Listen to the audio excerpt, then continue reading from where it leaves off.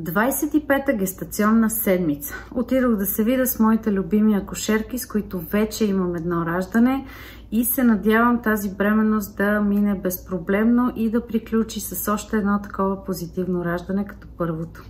Какво се случи на нашата среща? Отделиха ми около 40 минути, за които имах достатъчно време да им разкажа абсолютно всичко.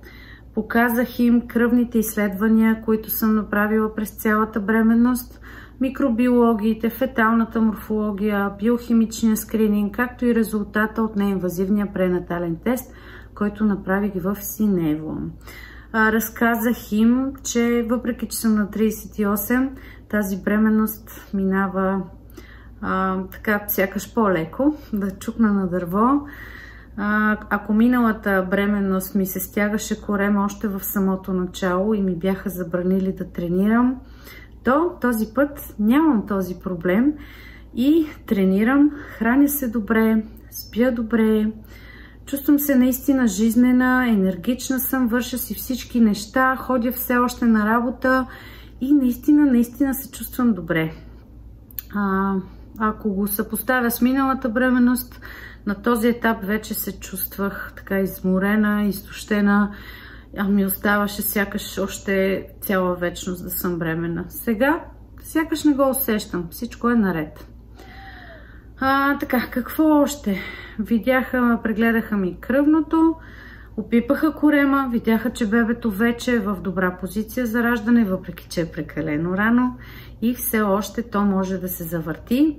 Но аз правя едни трикчета, които уж държат бебето в тази позиция и му помагат да остане така.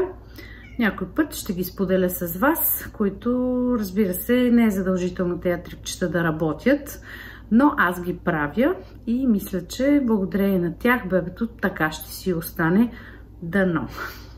Какво още? А, да, а, споделих на моите прекрасни акушерки моето притеснение да не родя в колата. Те се засмяха и ми казаха, че ако това се случи, само да не режа пъпната връв.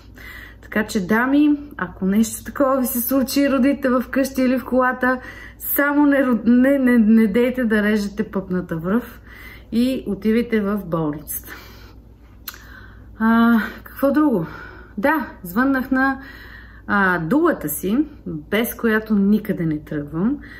В някой бъдещ епизод ще направя интервю с нея, за да ви разкажем какво е дула.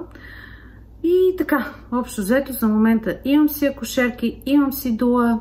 В 36 седмица ще споделя с тях плана си за раждане, ще го споделя и с вас, разбира се, ако въобще можем да правим някакъв план за раждане.